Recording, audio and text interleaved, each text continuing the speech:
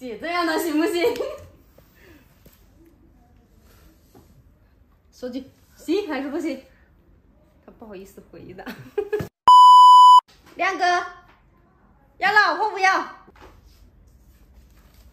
要。哎呦呦，李亮还害羞了。李亮，嗯，你要找什么样的呀？姐这样的行不行？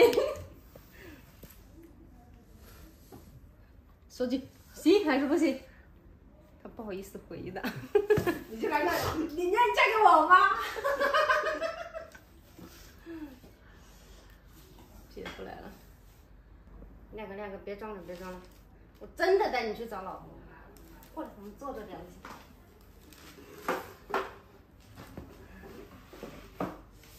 知道带你去哪里找老婆了？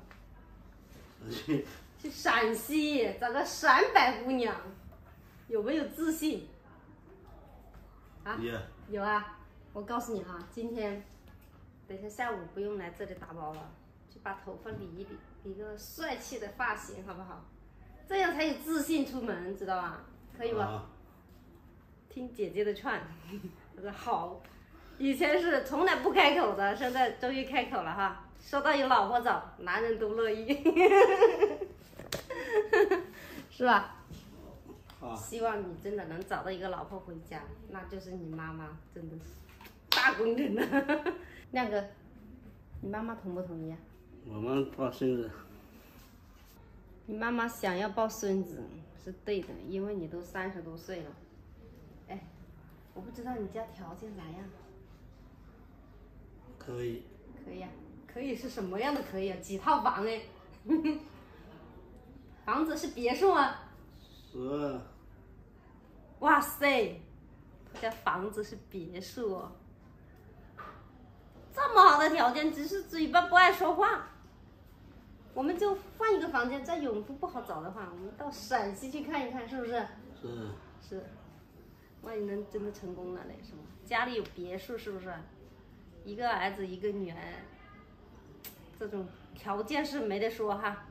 就是喜欢那种不油嘴滑舌的，我觉得找他还是可以靠谱的哈。大哥，站一下起来，看看你多高啊！我靠你了？其实他挺高的哈，我都才靠到这里。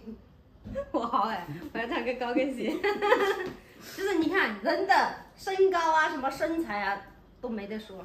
你站过来，真的，你看他的身高什么的都挺好的哈，就是缺少一个陪在身边的女朋友，是哈。今天，明天出发了，我们就努力一下，好不好？啊，我们多去那个村里面逛一逛。你是男的，不好意思开口，姐跟你去多打听打听，行不行？行，记到我跟你刚刚说的话了没有？